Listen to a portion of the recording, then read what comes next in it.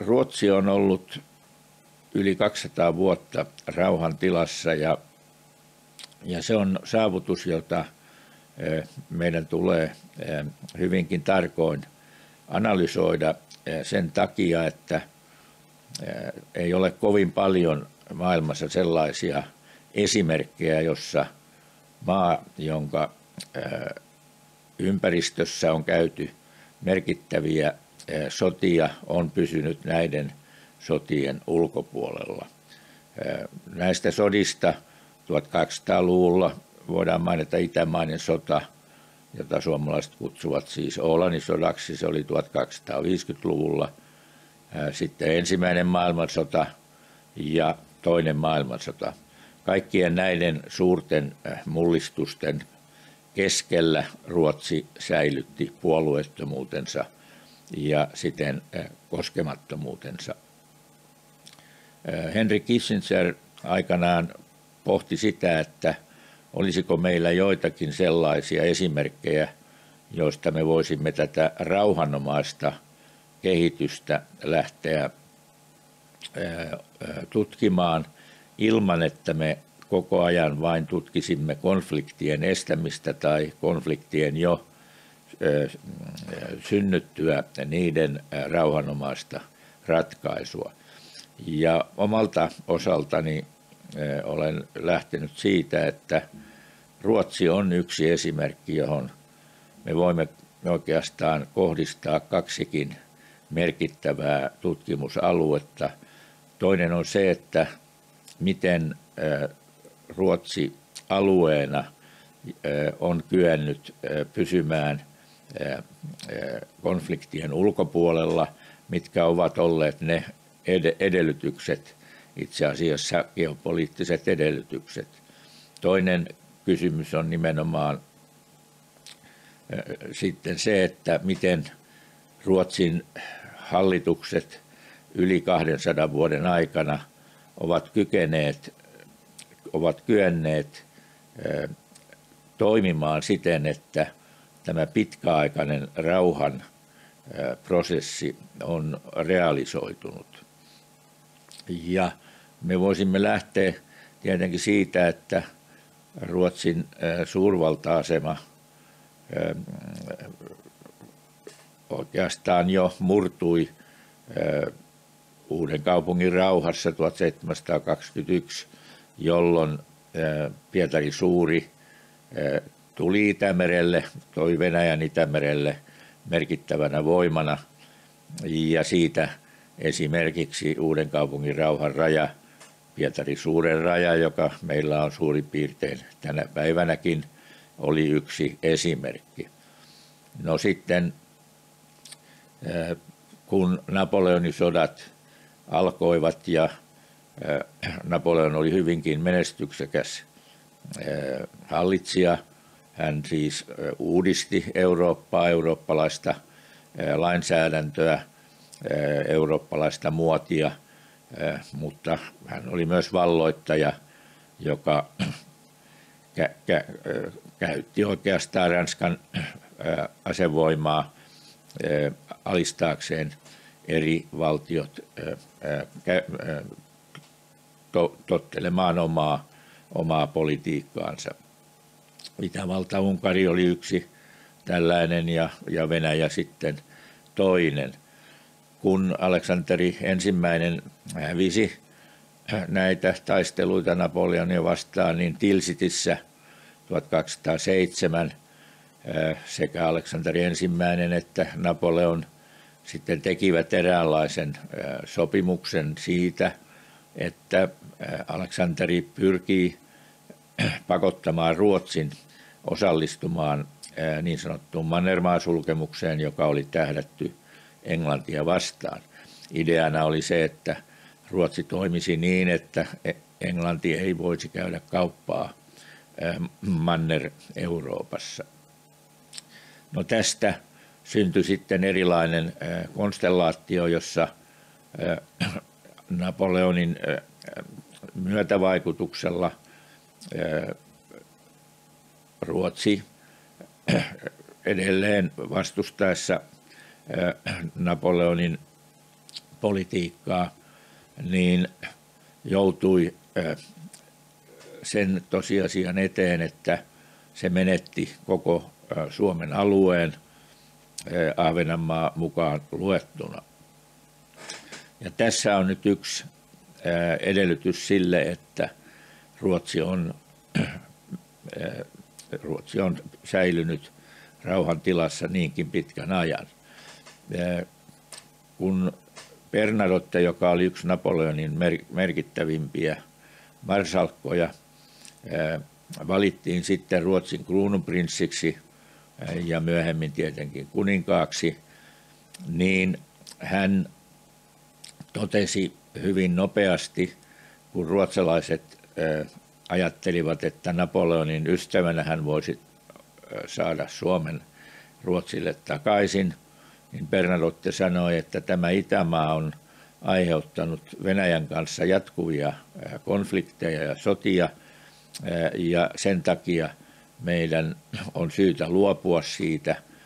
Ja Bernadotte oikeastaan hyvin pitkän ajan oli sitä mieltä, että jos suomalaiset ovat tyytyväisiä tässä uudessa autonomisessa suuriruhtinaskunnassaan, niin Ruotsilla ei ole mitään syytä ja eikä pyyteitä saada Suomea takaisin.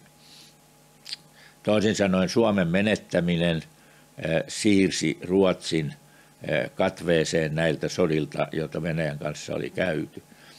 Nämä sodat siirtyivät siis sitten Suomen hoitoon. Toinen merkittävä asia tässä on se, että kun Bernadotte menetettyään Suomen katsoi, että Ruotsin intressissä olisi saada Norja Tanskalta, niin Napoleonin sotien loppu metreillä Bernadotte otti tämän asian esille ennen Viinin kongressia 1815 ja saikin aikaiseksi sellaiset järjestelyt, että Ruotsin ja Norjan välille syntyi persona- personaaliunioni ja niitä yhdisti siis yhteinen kuningas eli Bernadotte. No, jos Ruotsilla olisi ollut Norja ensimmäisen maailmansodan tai toisen maailmansodan aikana, niin olisi ollut erittäin vaikeata Ruotsin pysyä konfliktien ulkopuolella ja puolueettomana, mutta norjalaiset vapauttivat itsensä tästä personaaliunionista vuonna 1905 ja tästä lähtien sekä Norja että Suomi olivat erilliset yksiköt, eivätkä vaikuttaneet Ruotsin välittömään politiikan tekoon. Ja näin ollen, kun Ruotsi menetti Suomen ja kun Norja irtaantui Ruotsin personaaliunionista, syntyivät edellytykset sille, että, että se, se Ruotsi, jonka me tänä päivänä tunnemme, oli alueena sen verran edullisessa tilanteessa, geopoliittisessa tilanteessa, että tämän kaltainen puolueettomuus konfliktien aikana tuli, tuli mahdolliseksi. No sitten jos ajatellaan niitä henkilöitä, poliitikkoja, jotka ovat myötävaikuttaneet siihen, että että tätä tilannetta on käytetty jatkuvasti hyväksi ja siitä on oikeastaan tehty itse asiassa eräänlainen doktriini, joka kulkee 1812 vuoden politiikkana, niin sen loi tämä ensimmäinen Bernadotte. Ja hänen ideansa oli se, että, että Ruotsi on puolueeton, jotta se konfliktien aikana voisi pysyä konfliktien ulkopuolella. Ja tästä alkoi tämä Ruotsin puolueettomuuspolitiikan kehittäminen. Siinä on ollut erilaisia vaiheita, eikä se aina ole ollut ihan puhdasta puolueettomuuspolitiikkaa, mutta viime kädessä kuitenkin ruotsalaiset ovat sitten päättäneet olla konfliktien, ulkopuolella. Ja jos ajatellaan näitä kolmea isoa sotaa, esimerkiksi tämä itämainen sota, jossa ranskalais-englantilainen laivasto tuli Itämerelle nimenomaan luodakseen toisen rintaman Mustanmeren taisteluille, niin sekä Ranska että Englanti esittivät Ruotsille, että jos Ruotsi yhtyy sotaan Venäjää vastaan Ranskan ja Englannin kanssa, niin Ruotsi saa Suomen uudelleen. No silloinen kuningas Oskar ensimmäinen, joka oli siis tämä Bernadotteen poika, Ranska, Ranskassa syntynyt hänkin, katsoi, että jos hän saa Ranskalta ja Englannilta takuut, että ne puolustavat Ruotsia ja mahdollisesti siihen liitettävää Suomea Venäjän vaikutuksilta, niin, niin silloin hän suostuu tähän, tähän ehdotukseen lähteä sotaan Venäjän kanssa. Kun ei takuita tullut, niin Oskar ensimmäinen sitten päätti olla lähtemättä tähän sotaan. Ensimmäinen maailmansota oli sillä tavalla ongelmallinen, ja se toistui sitten toisessa maailmansodassa, että puolueiden Ruotsi kärsi erittäin paljon siitä, että taloudelliset yhteydet ulkomaailmaan olivat erittäin rajoitetut ja vaikeat. Ja tässä nimenomaan hallitusta tuli avustamaan Wallenbergien merkittävä pankkiiri ja taloussuku. Eli ensimmäisessä maailmansodassa oli kaksi Wallenberg-veljestä, joista toinen hoiti Saksan kaupan ja toinen Englannin kaupan. Ja sitten seuraava sukupolvi toisessa maailmansodassa teki tämän saman jutun. Yhdessä vaiheessa myös eräs Wallenberg oli sitten Ruotsin ulkoministerinä.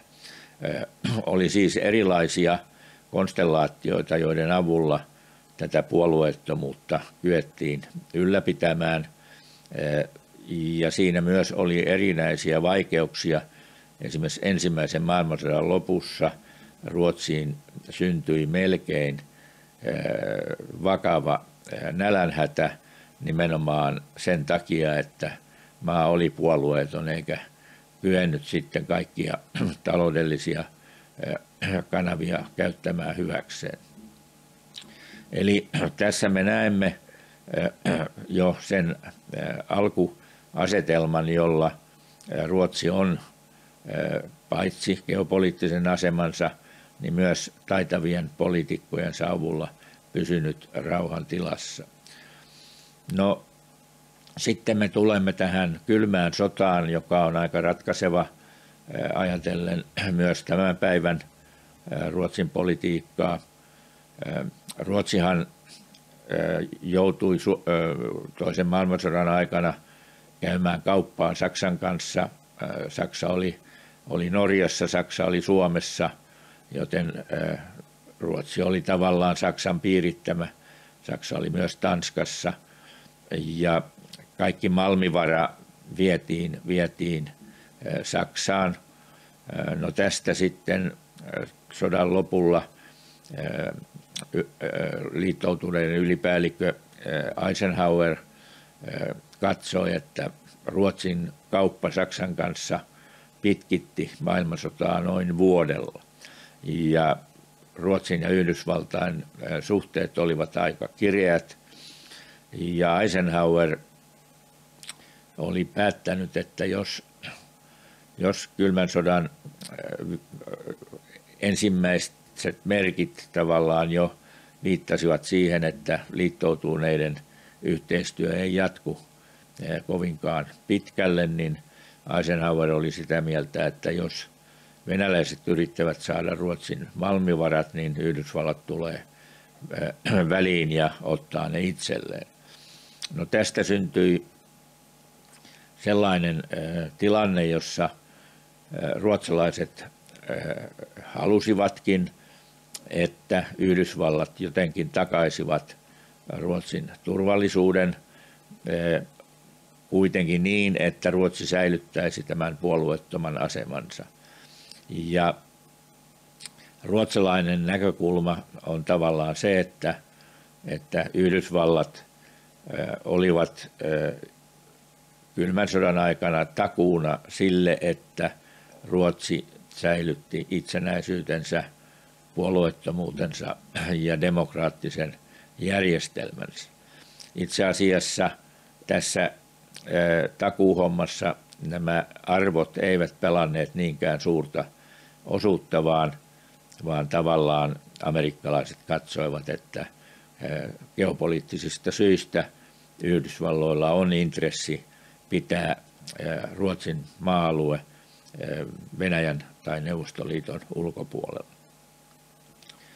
Eli näin tämä Yhdysvallat kytkeytyy Ruotsin politiikkaan sen kylmän sodan ajan.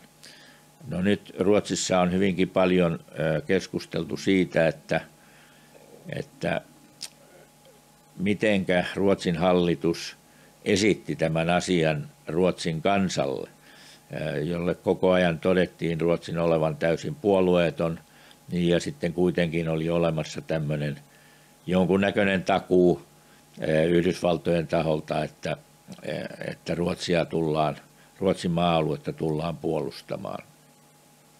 No minusta tässä ei ole mitään niin kuin ihmeellistä. Nykyisin Ruotsissa sanotaan historioitsijat ja, ja turvallisuuspolitiikan asiantuntijat aika pitkälle lähtevät siitä, että Ruotsi oli puolueeton, mutta sillä oli suunnitelma B, joka tarkoitti sitä, että amerikkalaisten turvatakuut tulevat kyseeseen, jos Neuvostoliitto tulee häiritsemään Ruotsin puolueettomuutta. Tämä on nyt ollut se tausta, jolla, jolla Pohjolan tasapaino johon tämä Ruotsin puolueettomuus pitkälti liittyy, niin on saatu pitää voimassa tähän tämän vuoden kevääseen asti. No nyt me tulemme sitten siihen, että mitkä ovat ne syyt, jonka takia Ruotsin hallitus sitten päätti tänä vuonna, että myös Suomen lailla myös Ruotsi hakee Naton jäsenyyttä. Ja tietenkin se liittyy nyt tähän kokonaistilanteeseen, jossa siis Yhdysvallat, NATO ja Euroopan unioni ovat näitä arvoyhteisöjä ja pyrkivät saamaan tämän liberaalisen demokratian eh, vallitsevaksi eh, valtion muodoksi maailmassa. Eh, sitä vastassa ovat siis nämä Venäjä ja Kiina, autoritääriset valtiot, ja sitten on se kolmas maailma, joka ei halua suoranaista yhteyttä kumpaankaan näihin riiteleviin osapuoliin. No Ruotsi oikeastaan moraalisesti on aina kärsinyt jonkunnäköisestä huonosta omasta tunnosta siitä syystä, että ruotsalaiset katsovat, että he ovat olleet niin kuin, niin kuin, kuin lintukodossa, eikä heidän ole tarvinnut, eivätkä he ole halunneet puolustaa näitä demokraattisia arvoja – mitä näissä maailmansodissa on, on, on ollut vallitsevia trendejä siis puolustaa demokratiaa autoritäärisiä valtioita vastaan. No itse, kun olin Ruotsissa suurlähettiläänä usein ruotsalaisille, totesin, että, että jos piti valita Hitlerin ja Stalinin välillä, niin niin kumpi niistä edusti länsimaisia arvoja.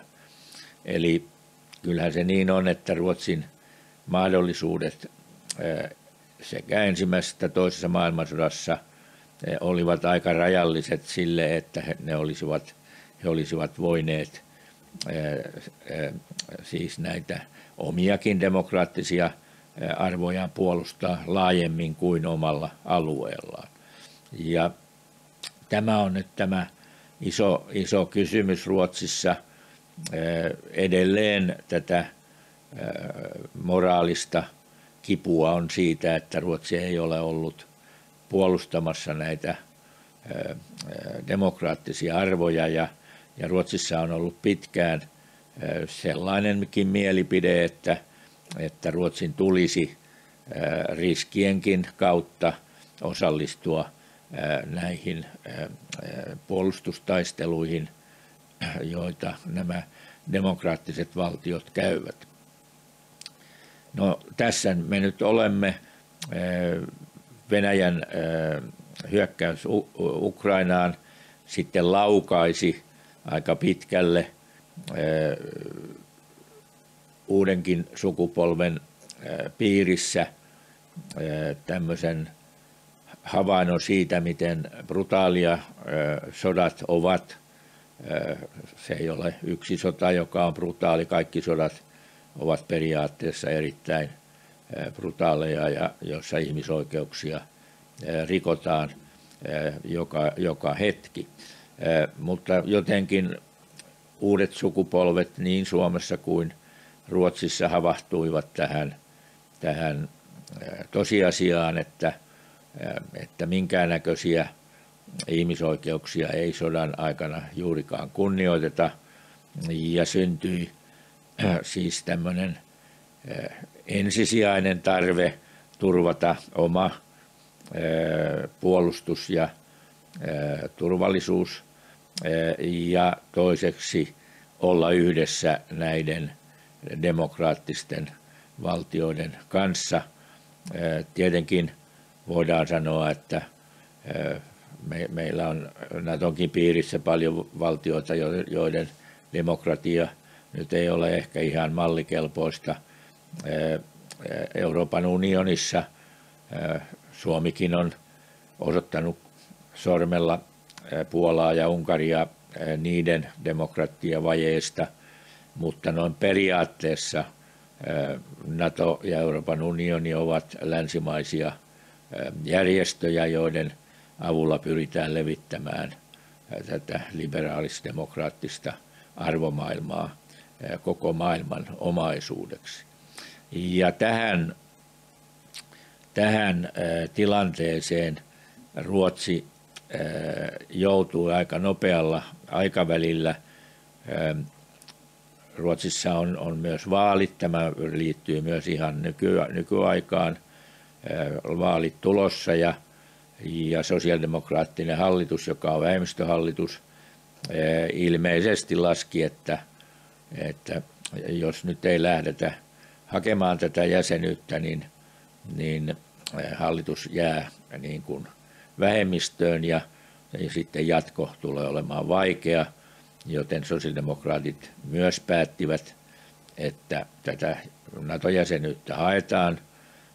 Merkittävää tietenkin on se, että sosiaalidemokraattien piirissä, jopa hallituksen piirissä oli eri mieltä aika merkittävästikin, ja se saattaa nyt sitten aiheuttaa sen, että Suomen ja Ruotsin – NATO-politiikka sitten, kun NATO-jäsenyys tulee tosiasiaksi, saattavat hyvinkin erota toisistaan.